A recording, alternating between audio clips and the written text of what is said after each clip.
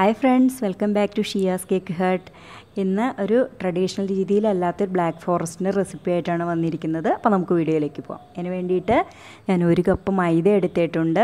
അതിലേക്കൊരു കാൽ കപ്പ് നമുക്ക് കൊക്കോ പൗഡർ ചേർത്ത് കൊടുക്കാം. കൊക്കോ പൗഡർ ഇച്ചിരി കൂടെ ഡാർക്കായിട്ടുണ്ടെങ്കിൽ നല്ലതാട്ടോ. ഞാൻ എനിക്കത് കിട്ടിയില്ല. അതുകൊണ്ടാണ് ചേർത്ത് ഒരു ടേബിൾ സ്പൂൺ ബേക്കിംഗ് പൗഡർ ചേർത്തിട്ടുണ്ട്. ഇനി ഒരു അര ടേബിൾ സ്പൂൺ ബേക്കിംഗ് സോഡ കാൽ ടീസ്പൂൺ സോൾട്ട് ഇതെല്ലാം കൂടെ കൂടി നമുക്ക് നന്നായിട്ടൊന്ന് സീവ് ചെയ്തെടുക്കാം. കുറഞ്ഞത് മൂന്ന് പ്രാവശ്യമെങ്കിലും സീവ് ചെയ്തെടുക്കണം കേട്ടോ. എന്നാലാണ് നന്നായിട്ട് മിക്സ് ചെയ്യുള്ളൂ. ഒട്ടും കട്ടയില്ലാതെ ഇരിക്കുള്ളൂ. ഒട്ടും തരി പാടില്ലാതെ വരെ നന്നായിട്ട് മിക്സ് ആവുകയും വേണം. ഇതുപോലെ കട്ടയായിട്ടുള്ളതൊക്കെ നമുക്കൊന്ന് ഉടച്ചു കൊടുക്കാം.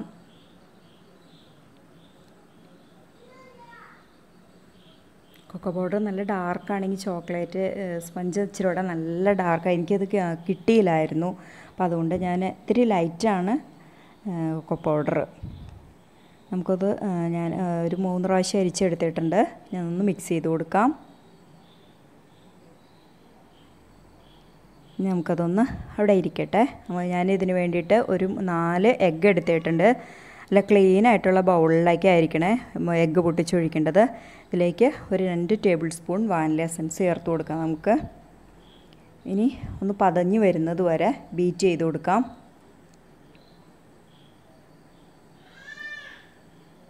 നന്നായിട്ട് പതഞ്ഞ് വന്ന് കഴിയുമ്പോഴാണ് നമ്മൾ ഇതിലേക്ക് പൊടിച്ചു വെച്ച പഞ്ചസാര ചേർക്കേണ്ടത്. അതിന് വേണ്ടിയിട്ട് ഞാൻ ഒരു കപ്പ് പൊടിച്ച പഞ്ചസാരയാട്ടോ എടുത്തേക്കുന്നത്.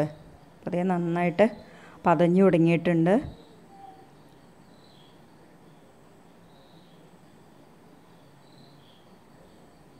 നമുക്ക് കുറേശ്ശെയായിട്ട് പൊടിച്ചു വെച്ച ഷുഗർ ആഡ് ചെയ്ത് കൊടുക്കാം. ഇനി അത് നന്നായിട്ട് മെൽറ്റ് ആവണം എഗ്ഗിന്റെ ഇതിൽ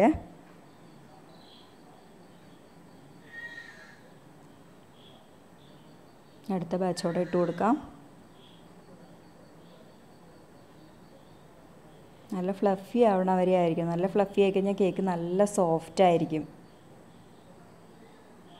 കേക്കിന്റെ ഇതിന്റെ നിറമൊക്കെ മാറി വന്നേക്കണുണ്ടോ യെല്ലോയിഷൊക്കെ മാറിയിട്ട് നല്ല വൈറ്റ് കളറ് ബാക്കി മുഴുവനും ഷുഗർ ആഡ് ചെയ്ത് കൊടുത്തു.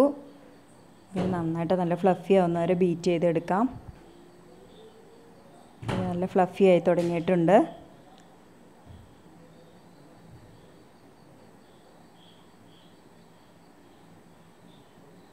ഉണ്ടോ നല്ല നിറമൊക്കെ മാറിയേക്കണം ഉണ്ടോ അതിന്റെ നല്ല ഫ്ലഫി ആയിട്ടുണ്ട്.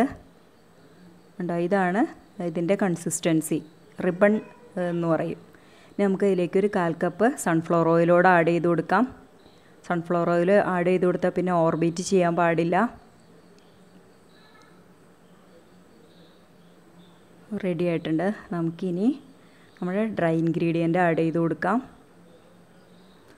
ഒരു മൂന്ന് ബാച്ചൊക്കെ ആയിട്ട് ഒക്കെ ഇത് ആഡ് ചെയ്ത് കൊടുക്കുക കേട്ടോ ഒന്നിച്ചിട്ട് ആഡ് ചെയ്യാൻ പാടില്ല. അതുപോലെ തന്നെ നമ്മൾ ഈ ഡ്രൈ ഇൻഗ്രീഡിയന്റ് ചേർത്ത് കഴിഞ്ഞാൽ പതുക്കെ പതുക്കെ ആയിട്ട് ഫോൾഡ് ചെയ്തെടുക്കാമോളൂ ഓവറായിട്ട് ഫോൾഡ് ചെയ്ത് കഴിഞ്ഞിട്ടുണ്ടെങ്കിൽ കേക്ക് ഭയങ്കര ഹാർഡായി പോവും.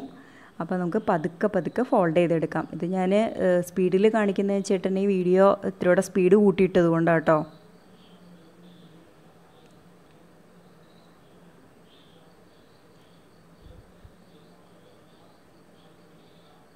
അപ്പോൾ ഞാൻ ഇതിലേക്ക് ഇത്തിരി കോഫി സിറപ്പ് ഉണ്ടാക്കിയിട്ടുണ്ട്. നമുക്ക് വേണമെങ്കിൽ കോഫി സിറപ്പ് അതായത് ഡയറക്റ്റ് ചേർത്ത് കൊടുക്കാതെ നല്ലൊരു ഫ്ലേവറാണ് കോഫി കോഫി പൗഡർ ആഡ് ചെയ്ത് കൊടുത്തിട്ടുണ്ടെങ്കിൽ.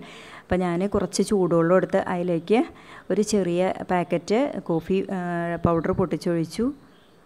അപ്പോൾ നല്ലൊരു ഫ്ലേവറാട്ടോ ഞാൻ എല്ലാത്തിനും തന്നെ അങ്ങനെ ചേർക്കാറുണ്ട്. ചോക്ലേറ്റ് സ്പഞ്ച് ഉണ്ടാക്കുമ്പോൾ നമുക്ക് നന്നായിട്ട് ഒന്നുകൂടെ ഒന്ന് ഫോൾഡ് ചെയ്തെടുക്കാം.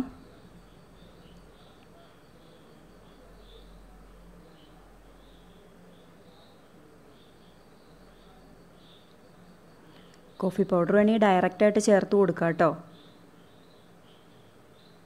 ഞാനിപ്പോൾ ഇത് ഇൻസ്റ്റന്റ് ആണ് യൂസ് ചെയ്തേക്കുന്നത്. സാധാരണ കോഫി പൗഡർ ആണെങ്കിലും കുഴപ്പമില്ല. ഇതിപ്പോൾ നമ്മുടെ ബാറ്റർ റെഡി ആയിട്ടുണ്ട്. നമുക്കിനി ഒരു മോൾഡിലേക്ക് ഒഴിച്ചു കൊടുക്കാം. ഞാനൊരു സെവൻ ഇഞ്ചിന്റെ ഒരു മോൾഡ് എടുത്തിട്ട് ഗ്രീസ് ചെയ്ത് വെച്ചിട്ടുണ്ട്. നമുക്കതിലേക്ക് ഒഴിച്ചു കൊടുക്കാം.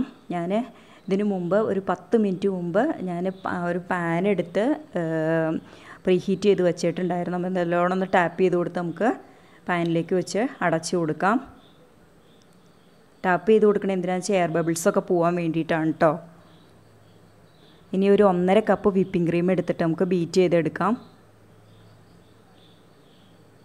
ആദ്യം സ്ലോയിലിട്ടിട്ടും പിന്നെ കുറേശ്ശെ കുറേശ്ശെ അത് പതഞ്ഞു വരുന്ന ഒരു ടൈമുണ്ട്. ആ ടൈമൊക്കെ ആകുമ്പോഴത്തേനും പതുക്കെ പതുക്കെ സ്പീഡ് കൂട്ടി കൂട്ടി കൊടുക്കണം. നല്ല സ്റ്റിഫായി കിട്ടണം നമുക്ക്. അപ്പോൾ ഇനി കുറേശ്ശെ കുറേശ്ശെ സ്പീഡ് കൂട്ടി കൊടുക്കാം.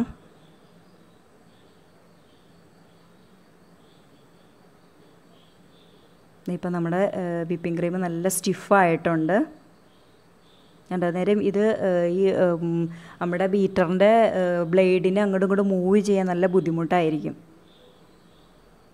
ഒരു മുപ്പത്തഞ്ച് മിനിറ്റ് കഴിഞ്ഞ് നോക്കിയപ്പോൾ കേക്ക് റെഡി ആയിട്ടുണ്ട്. നമുക്ക് ഞാൻ വിപ്പിംഗ് ക്രീമിലേക്ക് കുറച്ച് ചോക്ലേറ്റ് മെൽറ്റ് ചെയ്ത് ഒഴിക്കുന്നതാണ്. അത് നന്നായിട്ട് മിക്സ് ചെയ്തെടുക്കാം. ഞാൻ ഇത് വെച്ചിട്ടാട്ടോ ഫ്രോസ്റ്റ് ചെയ്യുന്നത്. അപ്പോൾ ഇത്തിരിയോടെ നല്ല ടേസ്റ്റ് ആയിരിക്കും കേക്കിന്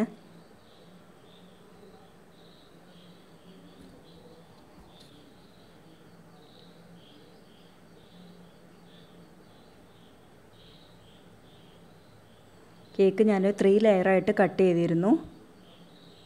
നമുക്കിനി ഓരോന്നായിട്ട് ക്രീം അത് ബോർഡയിൽ കുറച്ച് ക്രീം അപ്ലൈ ചെയ്ത് കൊടുത്തു. അതെന്തിനാന്ന് വെച്ചിട്ടുണ്ടെങ്കിൽ ബോർഡയിൽ നിന്ന് കേക്ക് തെന്നി മാറി പോവാതിരിക്കാൻ വേണ്ടിയിട്ടാണ്. നമുക്കിനി ഷുഗർ സിറപ്പ് കൊണ്ട് വെറ്റ് ചെയ്ത് കൊടുക്കാം. വൺ ഈസ് ടു വൺ റേഷ്യോയിലാട്ടോ ഷുഗർ സിറപ്പ് ഉണ്ടാക്കിയിരിക്കുന്നത്. നന്നായിട്ട് വെറ്റ് ചെയ്ത് കൊടുക്കണം. എപ്പോഴാണ് കേക്ക് നല്ല മോയ്സ്ചറായിട്ടിരിക്കുള്ളൂ നമുക്ക് റെഡിയാക്കി വെച്ച വിപ്പിംഗ് ക്രീം ഇതിലേക്ക് അപ്ലൈ ചെയ്ത് കൊടുക്കാം.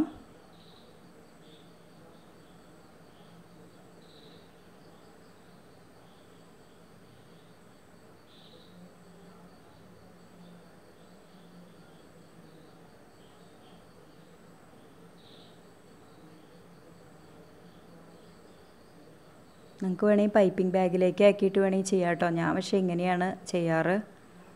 കുറച്ച് ചോക്ലേറ്റ് നമുക്ക് ഗ്രേറ്റ് ചെയ്തിട്ട് കൊടുക്കാം.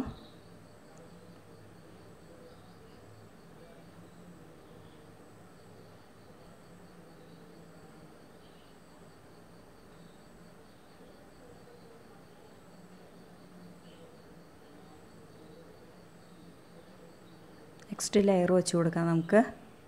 അതായത് നമ്മളെപ്പോഴും ലെയർ വയ്ക്കുമ്പോൾ വെച്ചിട്ടുണ്ടെങ്കിൽ നമുക്ക് ഫസ്റ്റ് ഏറ്റവും മുകളിലത്തെ ഭാഗം ഏറ്റവും അടിയിലായിട്ട് ഇട്ട് വയ്ക്കേണ്ടത് നടുക്കലത്തെ ലെയർ നടുഭാഗത്ത് തന്നെയായിട്ട് സെന്ററിലും വെക്കണം.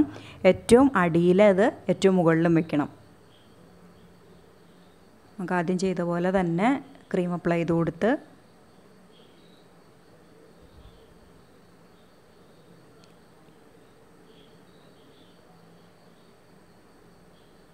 ഇതിലേക്ക് ചോക്ലേറ്റ് ഗ്രേറ്റ് ചെയ്തിട്ട് കൊടുക്കണം നമുക്ക്. ആദ്യം ചെയ്ത പോലെ തന്നെ.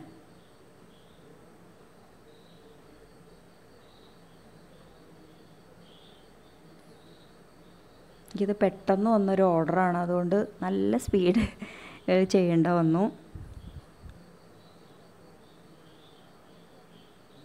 ഫൈനൽ ലെയർ വെച്ച് കൊടുക്കാം നമുക്ക്. വെയിറ്റ് ചെയ്ത് കൊടുക്കാം.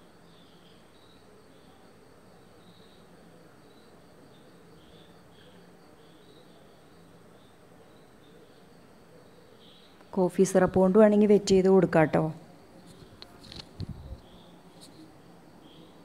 നമുക്ക് ക്രമ്പ് കൂട്ട് ചെയ്ത് ഫ്രിഡ്ജിലേക്ക് മാറ്റാം.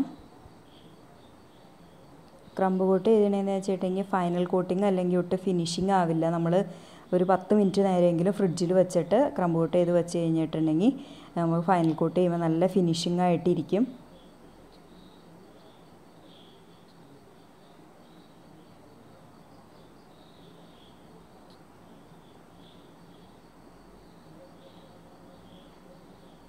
ജസ്റ്റ് എല്ലായിടത്തും ക്രംബ് കോട്ട് ചെയ്യുമ്പോൾ എന്ന് വെച്ചാൽ ജസ്റ്റ് എല്ലായിടത്തും ഒന്ന് അപ്ലൈ ആയാൽ മതി. നമ്മൾ ഫൈനൽ കോട്ടിലാണ് കൂടുതലായിട്ട് ക്രീം അപ്ലൈ ചെയ്ത് കൊടുക്കുന്നത്.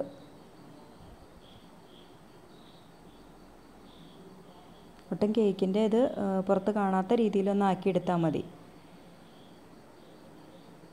ഞാൻ വിവോയുടെ ക്രീമാട്ടോ യൂസ് ചെയ്യുന്നത്. എനിക്ക് ഏറ്റവും കൂടുതൽ ഗുഡായിട്ട് തോന്നിയേക്കുന്നത് വിവോയുടെയാണ്. റോയലിനേക്കാളും എനിക്കിഷ്ടം വിവോയാണ്.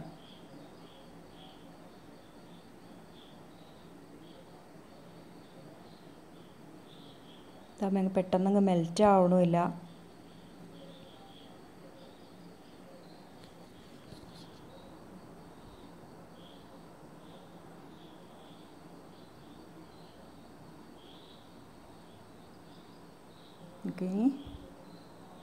ഇത് ഫ്രിഡ്ജിലേക്ക് മാറ്റാം.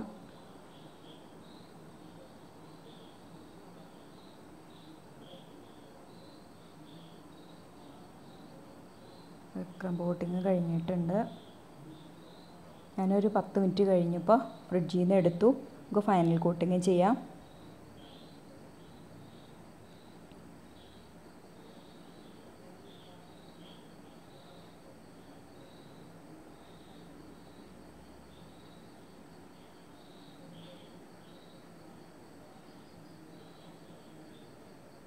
ഈ ഫൈനൽ കോട്ട് ചെയ്യുമ്പോൾ വെച്ചാൽ ഓരോ പ്രാവശ്യം ശരിക്കും നമ്മൾ ഒരു ടിഷ്യൂ പേപ്പർ കൊണ്ടോ മറ്റോ നമ്മുടെ ഈ നൈഫ് ഒന്ന് ക്ലീൻ ചെയ്ത് കൊടുക്കുവാണെങ്കിൽ ശരിക്കും പെർഫെക്റ്റായി കിട്ടും കേട്ടോ എനിക്കിന്ന് ഒന്നിനും സമയം കിട്ടിയില്ല. പെട്ടെന്ന് ചെയ്ത കാരണം കൊണ്ട് ഞാൻ ഇത് ചെയ്തില്ല. നമുക്കിത് സ്ക്രേപ്പർ കൊണ്ടൊന്ന് സൈഡൊന്ന് വരഞ്ഞു കൊടുക്കാം.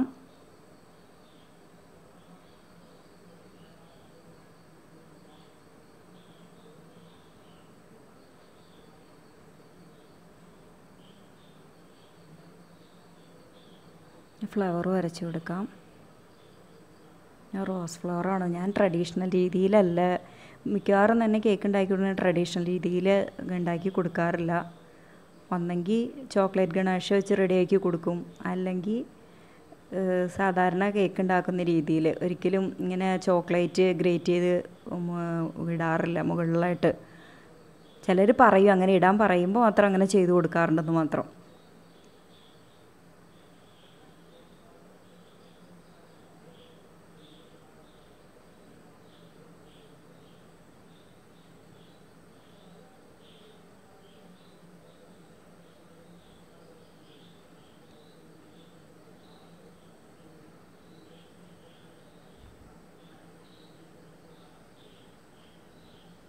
വേറെ നോസിലിൽ കുറച്ച് ഗ്രീൻ കളർ ചേർത്തിട്ട് അടുത്ത ചെയ്ത് കൊടുക്കുവാണ്.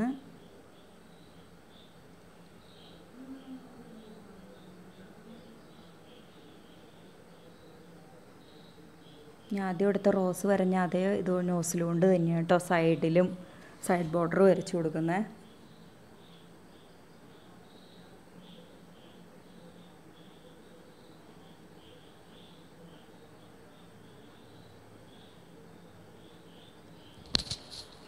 ഇനി നമുക്ക് സെയിം അതുകൊണ്ട് തന്നെ അടിയിലും ഒരു ബോർഡർ വരച്ചു കൊടുക്കാം. ഡിസൈൻസൊക്കെ അവരവരുടെ ഇഷ്ടം പോലെ ചെയ്യാം കേട്ടോ. നിങ്ങൾക്കൊക്കെ ഏതാ ഇഷ്ടം എന്ന് വെച്ചാൽ അതുപോലെ ചെയ്യാം.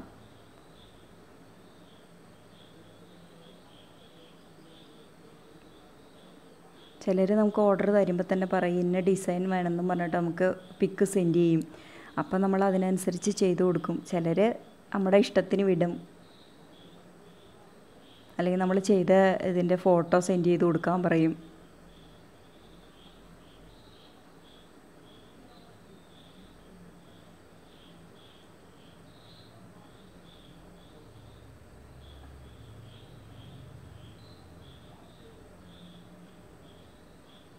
ഡെക്കറേഷൻ കഴിഞ്ഞു.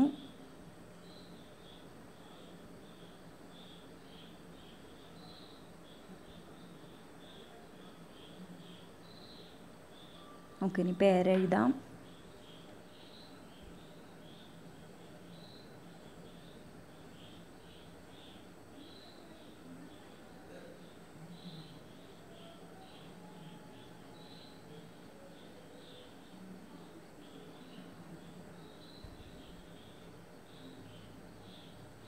കേക്ക് ഉണ്ടാക്കണേക്കായും ഏറ്റവും കോൺസെൻട്രേറ്റ് ചെയ്യേണ്ട ഒരു കാര്യമാണ് റൈറ്റിങ് കേക്കിൽ റൈറ്റ് ചെയ്യുക നല്ല ബുദ്ധിമുട്ടുള്ള കാര്യമാണ്